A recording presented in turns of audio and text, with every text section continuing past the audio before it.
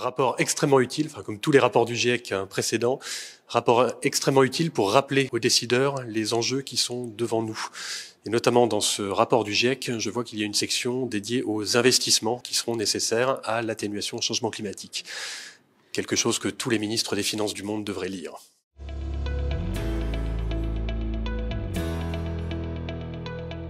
Les enjeux majeurs en, termes d'atténuation, c'est d'investir déjà en faveur du, climat. Si nous voulons être sur une trajectoire de neutralité carbone à horizon 2050 ou 2060 ou 2070, peu importe, il va falloir faire tout un tas d'investissements dans le logement, dans la mobilité, dans la production d'énergie, dans l'agriculture, afin de d'avoir des objets qui soient bas carbone, typiquement remplacer les véhicules thermiques par des véhicules électriques ou des vélos ou de la marche à pied, isoler les logements, faire de l'agriculture bas carbone, et donc il va falloir de l'investissement. Ça, ça veut dire de l'argent privé et de l'argent public pour accompagner tous ces investissements.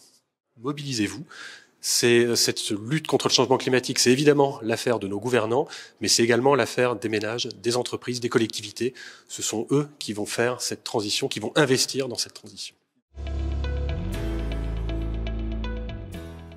Les raisons d'y croire, alors une raison peut-être un petit peu défaitiste, avons-nous le choix? Je ne suis pas certain de vouloir vivre dans un monde à plus 5, même plus 4 et même plus 3 degrés. Si on peut rester en dessous de 2 degrés, c'est bien. Et la raison d'y croire, c'est que c'est faisable. Hein. En fait, il suffit, entre guillemets, de beaucoup de volonté politique, mais également d'expliquer aux populations, aux ménages, aux entreprises qu'on va réussir à faire cette transition, qu'il y a un chemin pour le faire et qu'il suffit, entre guillemets, de faire les bons investissements.